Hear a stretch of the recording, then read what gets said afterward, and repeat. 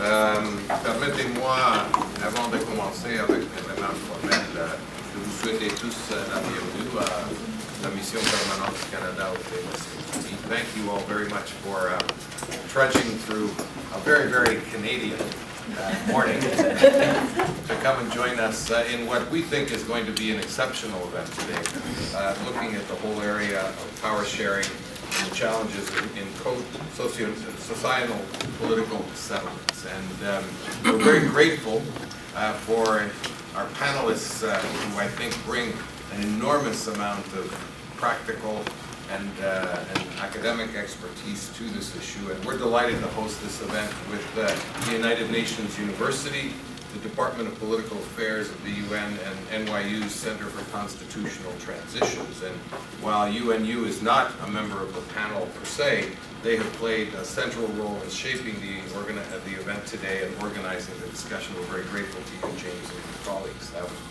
you know, I think the rationale for us wanting to support this event is that the nature of the world in which we are living is one of almost permanent transition every corner of the planet. We've seen this uh, not just in the Arab Spring, but some would suggest even as far back as uh, as the 1990s, uh, from the fall of the, the Berlin Wall. And what we're seeing is all over the world countries seeking to rebuild their political systems or to undertake significant constitutional reforms. And these are incredibly complex issues in diverse societies where we're seeing the unmaking of an old order and the appearance of new fault lines, or perhaps old ones, that have reappeared along ethnic, religious, cultural, economic, and linguistic divides. And th these are very, very difficult political issues. They're obviously very, very difficult societal issues. And when you look at situations at play in places such as Egypt, and Libya, and Syria, uh, now in CAR and Mali, and places uh, like South Sudan, uh, it's, uh, it's sobering indeed to see the scope of the challenge. And it's uh, also lamentable how often these situations descend into violence uh, that is very, very difficult to turn around. And um, I think there is a, compelling need uh, for many uh, for many of us to look at how we might be able to provide assistance to states that are seeking to manage their internal diversity in a peaceful manner because the consequences of not doing that, I think, are, are singularly unacceptable. And how we create the kinds of arrangements necessary to be able to underpin stability uh, through group recognition, through power sharing, through the establishment of effective democratic institutions is really at the core uh, of what uh, today's event and today's discussion is, uh, is going to take on. And as I said earlier, they're not easy issues. The eruptions that we've seen you know, around social cleavages, mean that political settlements need to be inter intertwined with the questions of reconciliation, with justice, with peace building, uh, to bring a lasting set of political arrangements that can pr provide the security and the basis for societies uh, to move forward. And there are really no ready-made answers to these issues, and I think our experts today will try to give us uh, a, a, basis for at least considering these issues going forward. And our reason for wanting to collaborate in this project is that these are issues that in Canada we're, we're confronting every day. And uh, as a society that is more and more pluralist in character, which has a long history of mediating relations not only between our three founding nations, but also embracing the diverse communities that have come to Canada and our official commitment to multiculturalism as a society, I think speak to a, a deeply held belief in Canada that the promotion of human rights, human dignity, freedom of religion and belief are absolutely central to our ability to construct political and societal arrangements that, that can underpin stability in our society. And in the foreign policy domain, uh, this has put us in a situation of, uh, of standing loudly in many instances to oppose all forms of oppression and discrimination, and the latest manifestation of this, perhaps uh, from the current government that we've seen, is with the establishment of the Office of Religious Freedom. But it goes much beyond that into our overall policies and programming that we undertake, uh, both in political and in the developmental world.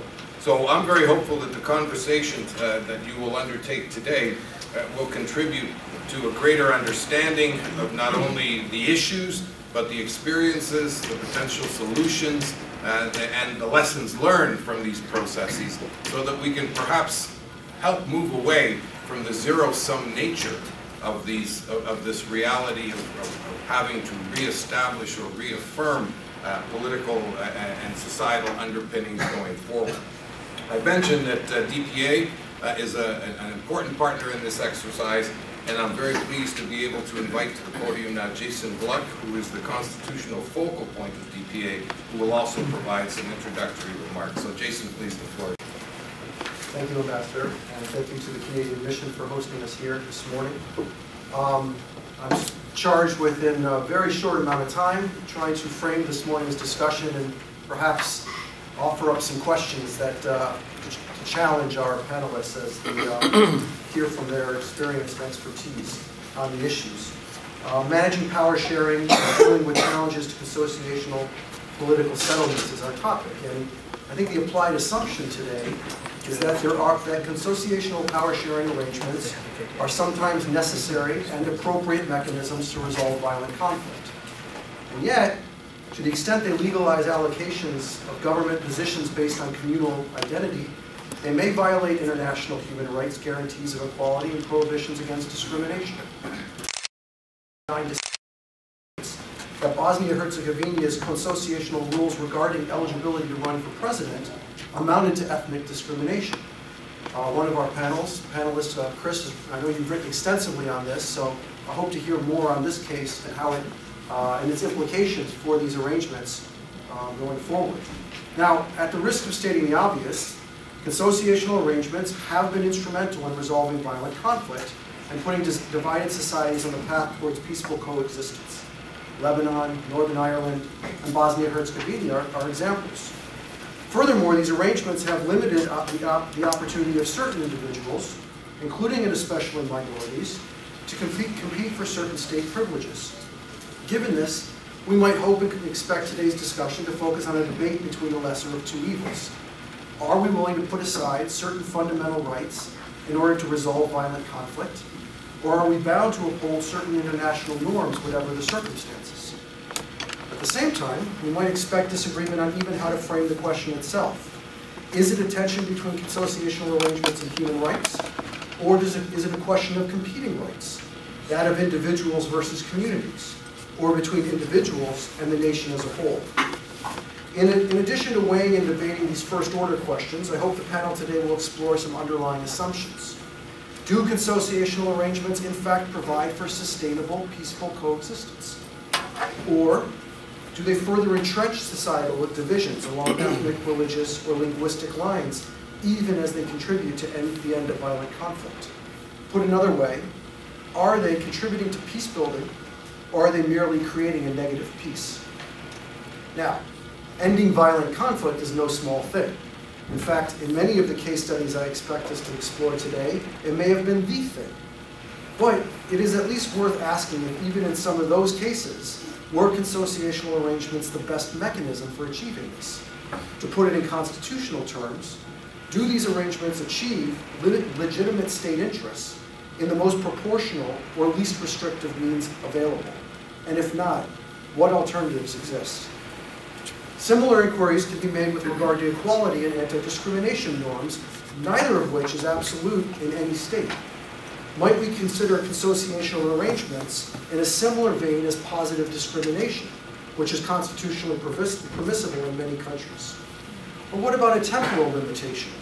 Can consociational arrangements for a limited time period advance the interest of ending violent conflict without unduly limiting rights? This was a question perhaps at the heart of the European Court of Human Rights decision with regard to Bosnia and Herzegovina. One thing is clear. The issue of consociation and human rights is very much a live issue, unsettled among academics, jurists, mediators, and policymakers.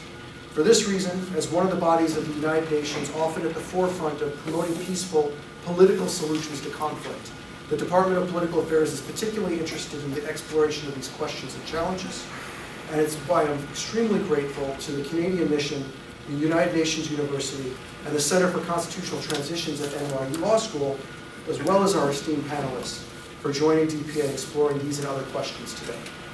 Thank you, and now I'll pass things on to our moderator, Professor Sujit Choudhry. so much for welcoming us and hosting us today at the mission.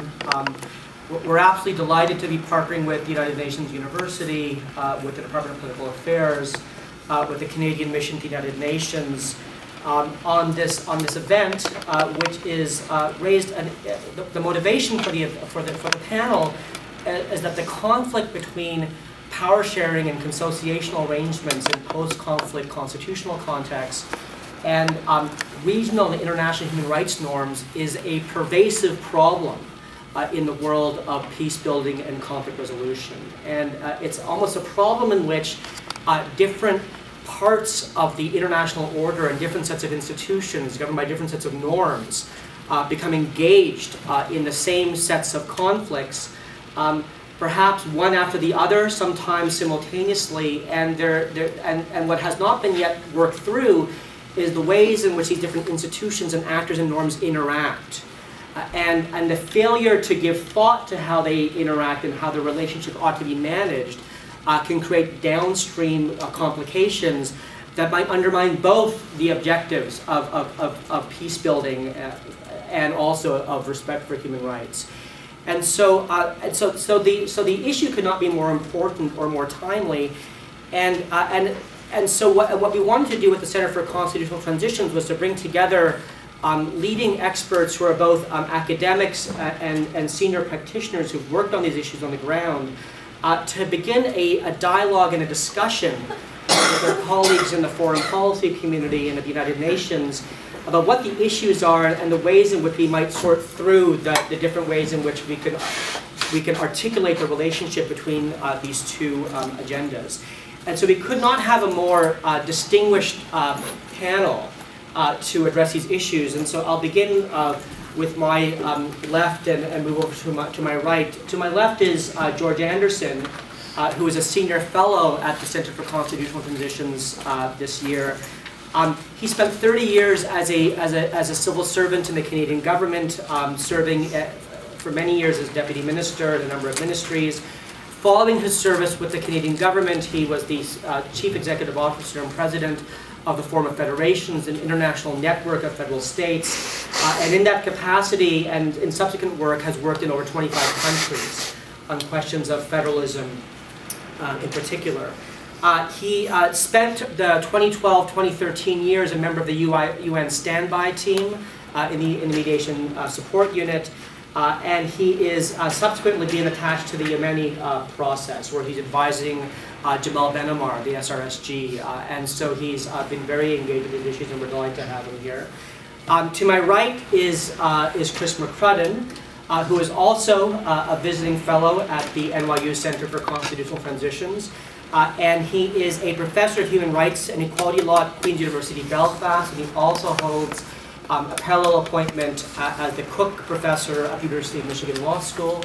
Uh, he, he, was for many years a professor at, at Oxford, um, and uh, he is a leading expert on international human rights law, uh, trade law, and, and, and most relevant uh, to this uh, work um, is the author of a book that I, I, I must recommend to all of you, under, um, Courts and Consociations, Human Rights versus Power Sharing uh, which is very much motivated by his experiences uh, and work in Northern Ireland um, in connection with the Good Friday Agreement, but is very much a detailed um, case study and example of what's happened in Bosnia.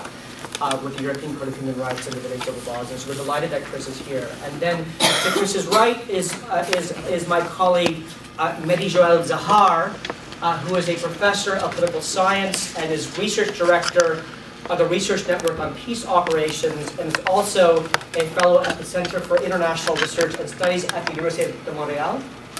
And she's currently uh, on leave from UDM, uh, where she is now uh, about serving as a, as a senior expert on power sharing, also with the UN standby team at MSU. And she has agreed to extend uh, her time uh, at MSU for another year. And so uh, and she is, uh, she is an expert on militia politics, transition violence, power sharing, and she has a strong uh, regional experience and expertise in the Middle East. And, I, and she won't mind me saying she's Lebanese by, by background, so these issues have a certain personal salience for her. Uh, and I, would be remiss if I didn't note that there's a heavy Canadian component um, to the whole event, because uh, there's uh, three of us on the panel who are Canadian, Ann Arbor is quite close to the border. So, um, so uh, we're very delighted that, that Canada is hosting this. And so our, our format for today will be this, that, we, that each of our panelists has agreed um, to speak for up to 10 minutes, to offer some initial thoughts on the themes and in response to some of the points that Jason has raised. Uh, and then uh, what we'd like to do is move into uh, a Q&A discussion session uh, with, um, with the excellencies and, and other members who, who have come uh, to have a dialogue about these issues. And, and, that, and that second part of the proceeding uh, will be subject to Chatham House rules. Uh, so uh, it's not for attribution, uh, but the first part of the proceedings are on the record. So, so what we'll do is we'll begin with Chris McCrudden.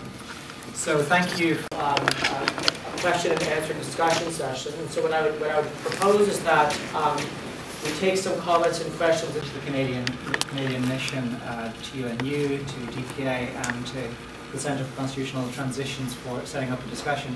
And thanks particularly to Jason for setting the scene in such a, a, a stimulating way. And it's uh, many of the issues that he wants to raise um, that I'm, I'm planning to at least address in a sketchy way in the 10 minutes that I've been given. And I thought perhaps we could begin, uh, given his challenge, uh, with the uh, case that he mentioned in Bosnia-Herzegovina, um, because I think it provides a, an interesting case study in many of the issues that uh, we want to raise.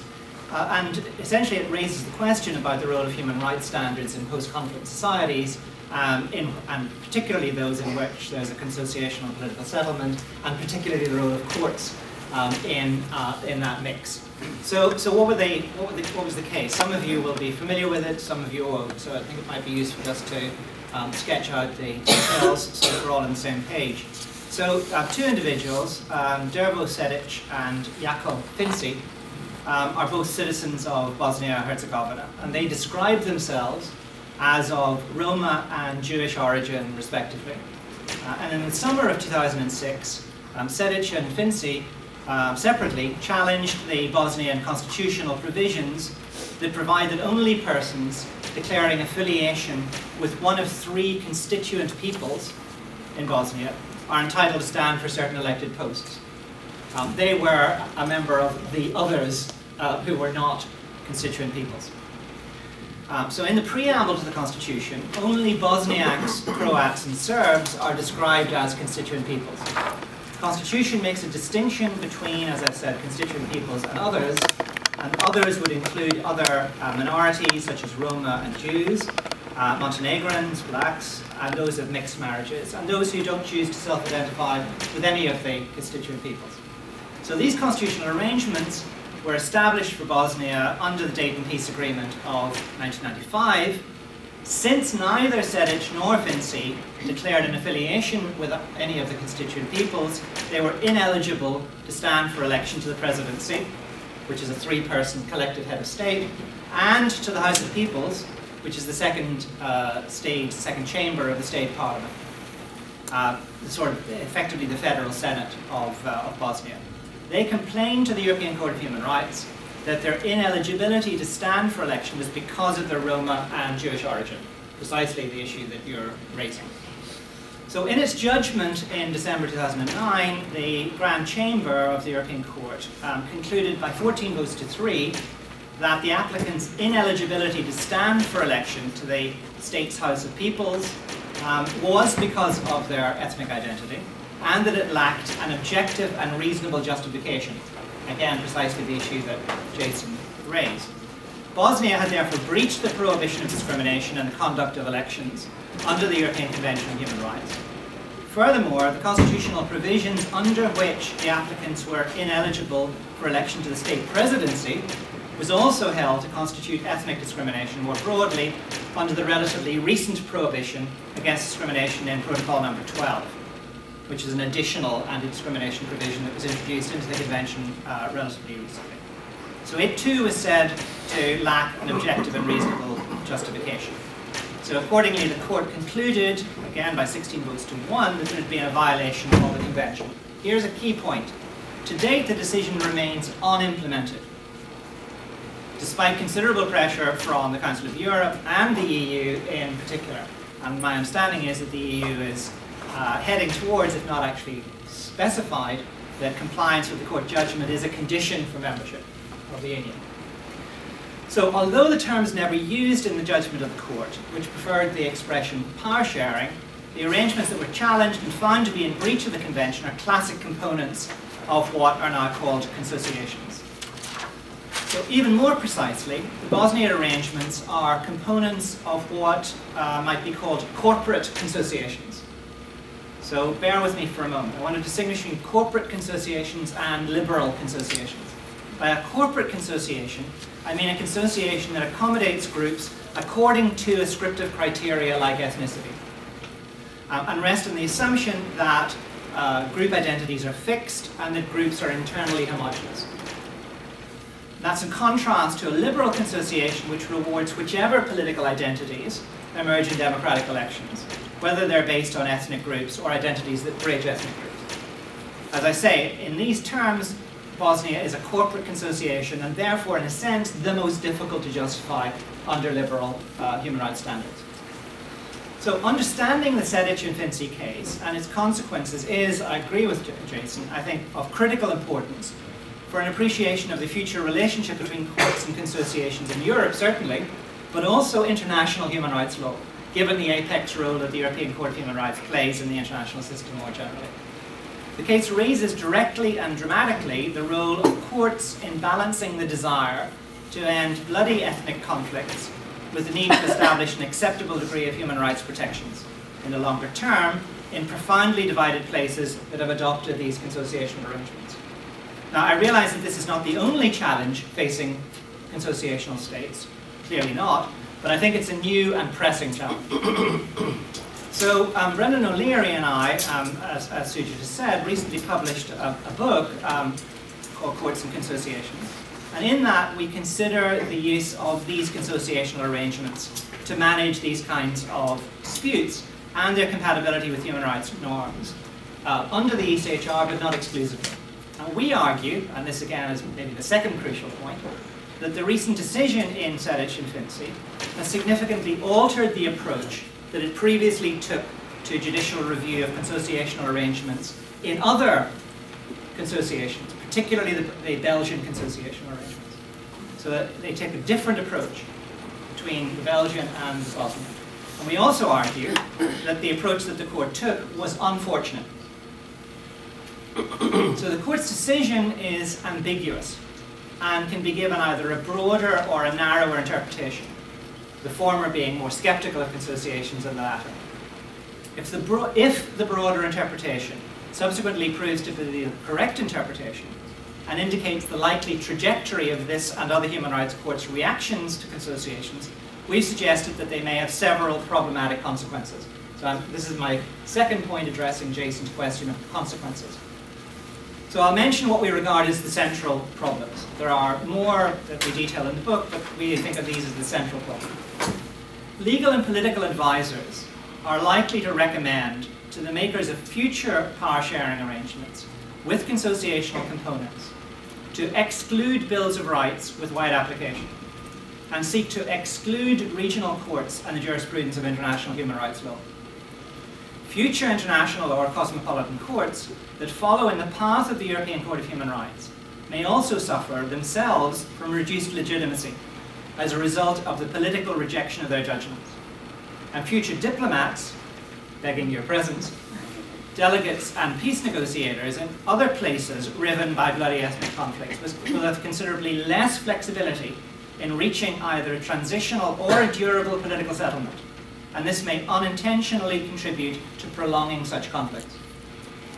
So the argument developed uh, in the book forms no part of a polemic against human rights norms, or international courts, or international law. We've no wish to add to the many screeds uh, in this vein that often, I have to say, have a xenophobic provenance. We've both promoted ourselves human rights provisions in constitutional advisory work um, in sites of past conflict. We frequently agree with human rights advocates in seeking to remedy provisions in these constitutions, laws, or policies that appear to be exclusionary or uh, racist. So neither of us should be misread as opponents of human rights. We're not, however, human rights absolutists. So we consider that where rights clash, some rights may be more important than others. Rights, moreover, should not always trump other claims of policy. One of these is a set of political arrangements known as consociations. So we've suggested, and here I'll now end, um, that in order to avoid these unfortunate consequences that may flow from the decision, if it's interpreted in this broad way, then there are ways of avoiding that. And here are suggestions for an alternative approach to the European Court of Human Rights. First, the historical and political contexts in which these, these provisions are drafted, especially peace agreements, um, deserve to be properly understood, particularly by courts. Apparently repugnant provisions may have defensible political origins. Some provisions in, in constitutions that may appear racist in character may not be exactly what they seem to impatient minds. They deserve more care in their interpretation. Second, in evaluating constitutions or organic laws, courts need to carefully consider whether these laws have a democratic character. Where they're made in a generally inclusive manner, where all of the affected peoples, in some reasonable sense, are free to be represented in negotiations and deliberations, where they're ratified by democratic means, then they deserve greater respect from courts than those that were not. Interestingly, Bosnia was not. But the court does not make its point to find Bosnia in violation because of this absence of a democratic character. It could have taken a much narrower approach. So in particular, perhaps, consociations in states or regions that have been ratified through referendums, and I think particularly of Northern Ireland, especially with the current concurrent assent of the affected groups, deserve a higher degree of respect than those who do not. Third, even where the Constitution or statute appears to conflict with valued human rights, prudent courts are well advised, I think, to treat such subjects as within the legitimate discretion allowed to a sovereign democratic republic. A careful and systematic investigation of the constitutions and organic laws, I think would turn up in many circumstances many apparent archaic anomalies or rank injustices in many settled democracies. I think only, for example, um, I'm being provocative here, of the arrangements that qualify uh, who can stand as President of the United States. Uh, would they qualify under current human rights norms? When such criticisms are valid, however, the key question is not are these arrangements really an international court? We have argued that the majority of the European Court of Human Rights' latest answers to these questions are troubling and its reasoning is unpersuasive. The judges of Europe's most distinguished human rights institution may unintentionally but imprudently have cast doubt on forms of political practice with a strong track record of helping to terminate violent conflicts. Thank you, Chris. And address how we get there in the first place. So what I'd like to do in my 10 minutes, and I'm going to try and stick to 10 minutes, uh, because I'd like to hear from you, is sketch very briefly the causes uh, of the tension between power sharing and human rights, uh, the consequences of power sharing agreements, and uh, maybe suggest preliminary thoughts about trying to mitigate those tensions before we get to the courts. So in terms of the causes of tensions, um, I think that the first thing we got to ask ourselves is really how we frame conflicts. And this is not to deny the role of ethnicity, but maybe to ask uh, the question of what function ethnicity performs in conflicts. Um, political scientists have written volumes about what they call ethnic entrepreneurship, which is basically the decision by political leaders pursuing objectives to mobilize communities on the basis of ethnicity. As I think Chris described very uh, elegantly, ascriptive identities are easy to mobilize. And in a sense, it becomes easier for leaders, and I'm thinking here of Bosnia, where I've also spent a big part of my academic career, like Slobodan Milosevic, to legitimate their policies based on an ethnic reading of the history. But of course, everyone who's worked on Bosnia knows that the reasons for the conflict were not simply ethnic. And that in a sense, reading the conflict from the moment at which the leaders sat to negotiate Dayton made abstraction of the decades which led to the conflict in the first place. And therefore, it becomes important to, our, to ask ourselves whether, by identifying conflicts as ethnic, we are not, in fact, uh, looking at the tip of the iceberg and contributing as mediators, as an international community, to the problem of the tension between power sharing and human rights. I'm particularly thinking of this with what is currently happening in South Sudan in the background. In South Sudan today, if you read the news, and most of the people in this room do that religiously, uh, we're told that there's a conflict raging between the Dinka and the Nuer tribes. And that the leaders of these tribes, the current president Salva Kiir and his former vice president, Riek Machar, are in fact simply fighting for their community's rights. Well, in fact, anyone who's worked in South Sudan, and I've had the opportunity and the privilege to work in South Sudan, thanks to George when he was president of the Forum of Federations, knows that the problem is not ethnic. And that in fact, the same problem that exists today between uh, Salva Kiir and Riek Machar exists as well between Salva Kiir and a number of other contenders for power.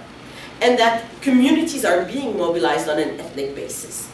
But it's a problem of governance which will not be solved if we decide uh, to mediate an agreement between those two and get them to share power with some people from their tribes as their acolytes and uh, someone is, I'm sometimes tempted to say accomplices. So the first thing, I think, the first point is to really stress what Chris has said in his closing remarks about context. It is important to understand the context, not simply when you are in the tribunals trying to sort out the tension, but also when you're at the negotiating table as an outside mediator trying to actually uh, find a solution to put an end to conflicts. That will be my first. My second point is about what happens at that table in terms of the selection of interlocutors. And so it follows from the first. I think that um, we do not ask ourselves the tough questions. And of course, there are good reasons why that is not the case.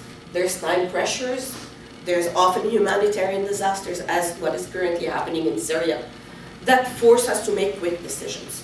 But these quick decisions tend to be systematically believing that the communities are homogeneous, when in fact, uh, any engagement in these countries, whether Bosnia, my country of origin, Lebanon, uh, Syria today, Yemen, uh, shows you that ethnic communities are as riven internally as they are uh, divided against their, uh, uh, the other communities in a country. Second, believing that the people with weapons speak for the entire communities, and therefore privileging at the table the people with weapons. And again, here, I want to make the same point that I made about ethnicity. This is not about excluding uh, warlords. Warlords need to be at the table, and that might also hurt certain uh, international rights sensibilities. But in a sense, if one wants to be pragmatic and end conflicts, you cannot end the conflicts without the people who are the primary actors of those conflicts. So the point is not to exclude uh, the main actors, it is to ask ourselves whether we cannot include others and whether by uh, identifying these actors as the only actors we're not actually uh, shortchanging society. So who are we including, but more importantly, who are we excluding by identifying the main actors the way we do? And again here, I'd like to maybe point to a recent experience in Mali, where uh, the manner in which uh, the peace, well, the preliminary peace agreement was framed, uh, identified the government on the one hand, and uh, two Tuareg groups on the other hand as the main interlocutors. Uh, that did not acknowledge the fact that the government does not represent all of the south of Mali and that there are lots of people who actually have serious concerns with the way in which this government has been handling particularly relationships with rural areas, but neither do the Tuaregs represent all the communities of the north. And so by identifying the, uh, the problem and the crux, crux of the conflict as really a conflict between the government and the Tuaregs, and not framing it in a larger way. Uh, the preliminary agreement actually sows uh, the seeds of its own failures. In other words, I'm here making a point which is related to my earlier point on ethnicity. when you frame conflicts or when you frame peace settlements in ethnic terms, you're always bound to forget someone.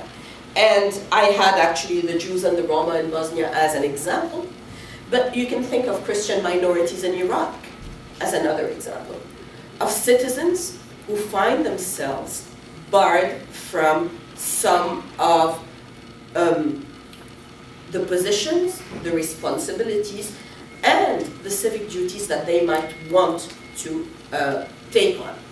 And that becomes particularly problematic, not just in the Bosnians of this world where, you know, when I was working in Bosnia back in the late 1990s, most people agreed that uh, Jakob Finci was probably one of the most uh, credible candidates for the presidency and someone who could unite a lot of Bosnians. I know that since then things have changed, but at the time that was one of the uh, main points that have been made time and again, but also in places like Mali or the Central African Republic or Yemen, where human resources are at a premium and where the people who are excluded might be the people that are needed to bring the countries to shore. My third point is about uh, the structuring impact of power sharing. Institutions, political scientists will tell you, have a nasty habit of enduring in spite of our efforts to tweak them. They're difficult to change, particularly when they are written into constitutions. And that is a tendency of recent peace settlements, to write whatever the political agreement is into the constitution. In a sense, that is totally understandable because of the level of mistrust between the protagonists. On the other hand, writing the division of power that was negotiated at Dayton into the Bosnian constitution locked the system. And locking the system does not only mean that ethnic identities become the most important identities, it also means that the actors who sign a peace agreement end up being the ones that are best positioned to continue to remain in power over the decades that follow. Why? Simply because the way in which you structure your institutions structures also who gets resources, who has voice, how you uh, incentivize behavior. And in other words, it makes it much more rewarding to play the ethnic game than not. And I think that the best proof is the difficulty in Bosnia, in spite of tremendous international support, financial, political, and otherwise, to really give substance to non-ethnic parties. In spite of the efforts, almost 20 years later, non-ethnic parties in Bosnia continue to be much weaker than the ethnic parties. And that is because the system is structured in such a way that the ethnic parties always have uh, an advantage. Uh, I will take Lebanon as another example of that. Um, in my country of origin, we're soon at 150 years of various versions of consociational power sharing, which have basically given religious sects and a few families that claim to represent these religious sects politically a hold over the politics. I think the feasibility issue is a very important one. And I wanted to say that in fact, we both want to put the lid on conflict and often with our interventions, whether they are in than most of the settlements of the past decade have. And in that, uh, in that spirit, I want to make only a few suggestions as to how we could proceed. First of all, by broadening participation in the discussion around the contours of the future of a state. This does not only mean bringing in society, there's been a lot of talk about including women, including youth, particularly in relationship to the Arab Spring. Um, it also means not dealing with conflicts piecemeal. Often, each country has not one but multiple conflicts happening in parallel. And the lessons of those places where conflicts have been dealt with piecemeal suggest that basically that creates uh, outbidding and makes it very difficult to steer away from the course of the first settlement. So for example, and I have uh, people in here who know much more about this than I do, but in Sudan, the decision to deal with the conflict between the South and Khartoum without really taking on board the fact that this conflict was the same as the conflict between Darfur and Khartoum, or the East and Khartoum, made it such that when the time came for the Darfuris to sit at the table, they wanted to have the same kind of deal as uh, the uh, SPLM did. In other words, the lessons of Sudan, I hope, will be borne in, uh, in mind when we uh, actually address South Sudan. Second of three things, sunset clauses. Sunset clauses have been successfully used in certain places to um, allow for power sharing to evolve and to broaden. Now, of course, I don't know enough about those places to really uh, suggest that this is the panacea. However, I think that we can put it to the discussion whether or not sunset clauses can actually be useful. And third, most importantly from my own experience, and that is what I will conclude upon, the sequencing of political settlements constitution writing. Too often, we tend to negotiate all of these things in abundance and to negotiate the rules for the future at a time when people are only thinking about the past. Places where there has been more space between the political settlement and constitution writing tend to have, on average, less of a problem and less of a tension between power sharing and human rights. And that suggests that places that have muddled through, the Libyas, the Nepals of this world, may not be a success from the perspective of foreigners who want a quick fix, who want to be able to move on to the next problem, but may ultimately, at the end of the day, have much more sustainable settlements, the kind that Jason will, in fact, uh, provide for both consociation and also, hopefully, peace and more democratic systems. Okay. George. With whom I had dealings in the past. Um, the uh, we've had we've had two very thoughtful and uh, quite different presentations so far. Mine's going to be perhaps a little less thoughtful, but uh, uh again quite different. Um, in that I'm going to talk a little bit more about sort of the politics of consociational arrangements as they compare with, with some others. Um, and, part of that is I'm not, a, my expertise to the extent I have any tends to be more on the federal side, and I've not done that much in terms of uh, peace negotiations or work on consociationism. Uh, but the, uh, before I get into uh, talking about the mechanisms, I just make a comment about identity. It picks a bit up on what Marie Joelle said, but identity is, are, identity, it's commonplace, but it's worth repeating, that identities are social contracts, constructs.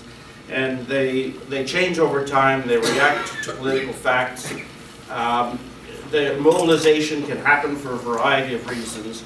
Uh, and you can see countries where the people were mobilized in one way. I mean, Netherlands was an interesting example where the country was mobilized around uh, religion politically, uh, but over time it worked its way, because of secularization, out of a consociational structure. It's one of the few cases where one can see actually the emergence from a consociational structure through normal politics. But in our, in, in our country of Canada, uh, I mean, French-Canadian nationalism's been around well, since the 19th century, but it's had very different character over time and, and political implications of, of, of it has, has changed. And somebody worked on that issue a good deal when I was in government. I, I can tell you that, certainly it's my view that it's the type of nationalism we're dealing with in Quebec today is quite different from what we were dealing with in the 1970s. So even in a relatively short period, uh, you can see significant change. Uh, my view on consociations is neither to sort of praise them nor to bury them, uh, but I, I, I, they're obviously very difficult arrangements. They're usually reached as a last uh, so possible solution. Uh, and uh, the question is whether they are inevitable in all the cases or whether one could have, as uh, Marie Joelle is suggesting, get, get, come up with something a little bit more like normal politics. Uh, Chris, uh, uh, in the book that he did with Brendan O'Leary, uh, laid out a four-part definition of consociations. Uh, the first had to do with uh, parity between cross communities in terms of power sharing, where the emphasis is on the joint making of public policy. secondly, and this is my order, not theirs, explicit veto rights that may be granted to each community on vital issues. Uh, thirdly, functional autonomy within each group, so where you devolve certain powers uh, to them which can be strictly functional if, uh, or territorial. And finally, proportionality, which means representation in shared institutions to a certain extent reflects the size of the populations. And that, he also says, might be extended to fiscal resources. Now, I, I thought what might be helpful just to sort of go through those four characteristics and ask to what extent we find them in other regimes. And uh, so we're going to start with uh, functional autonomy. Uh, that, of course, is not particularly controversial. I mean, there are lots of regimes. I mean, this is the essence of federalism, which is that you devolve functional powers to territorial units. Uh, these units can be strictly territorial and have no particular quality in terms of the character of their population, but in many cases they do have a, a particular identity. Uh, with whether it's religious or, or linguistic or ethnic. Um, we, we actually have in Ontario, uh, Canada is a federal country, but in Ontario we actually have Catholic school boards, which is a case of functional devolution of, of that type. So you can find them out, you can find that type of devolution outside of consociational arrangements. And I may say that the United Nations Human Rights Commission has found our school board arrangements in Ontario to be offside. Uh, there was a case brought before that you probably know about, uh, but it is interesting. So it's not just consociational arrangements of this type that can get challenged, but also uh, ones such as we had in Ontario. And Newfoundland had five school boards, but I was glad to be part of the constitutional, contribute modestly to the constitutional amendment that actually eliminated those five school, school boards. Uh, so functional autonomy can create practical problems, but it's not a particular characteristic that's limited to uh, or special to uh, consociationalism. Similarly, the issue of proportionality, uh, that's by no means limited to consociationalism. You find uh, many federal countries have features which bring that in, and not just federal countries, but where you get into issues of balancing representation in the civil service, the courts, the army, and what have you.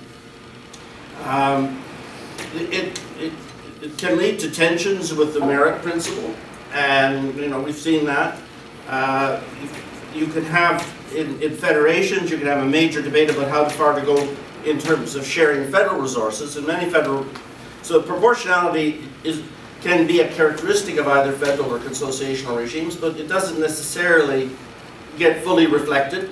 And in, in the case of Burundi, uh, where you have a very small minority, uh, you actually don't have much proportionality because the, the, structure between the two, the two communities has been to favor the, the, the, small community in a quite disproportionate way, particularly in terms of the structure of the army. But, but the idea of, of, of making special arrangements to get representation uh, of, of, of different communities within governmental institutions, this is not, this is not particularly striking.